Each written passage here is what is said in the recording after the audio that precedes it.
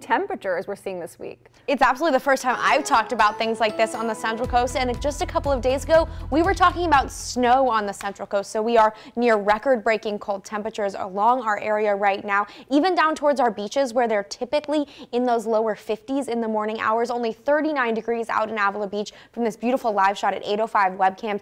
Perfect start to the day, but it is cold. You're going to want that extra layer as you head out the door this morning. It's cold across the entirety of the Central Coast, and like I said, this is actually an effect from that storm that brought snow to portions of the Central Coast. This photo sent in using the hashtag B on KSBY out at Figueroa Mountain Road with that snow on it from the storm just a couple of days ago. So we saw those cold temperatures. The coldest temperatures from that storm are actually happening right now, and that is what we're seeing with these incredibly chilly conditions. Checking out those temperatures outside right now, 25 degrees in Paso Robles, 23 in California Valley, only 30 degrees in Santa Maria, 36 degrees in Santa Barbara this morning. It is a cold one, and that is why we do have all of these watches, warnings, and advisories along the central coast. That's because we are expecting those colder than freezing temperatures, 20 to 28 degrees in many areas, and that is expected to cause some issues. So take caution and bring extra plants that may be a little bit more sensitive and sensitive pets inside as well this morning. We do have that freeze warning across many of our western beaches and into our coastal valleys.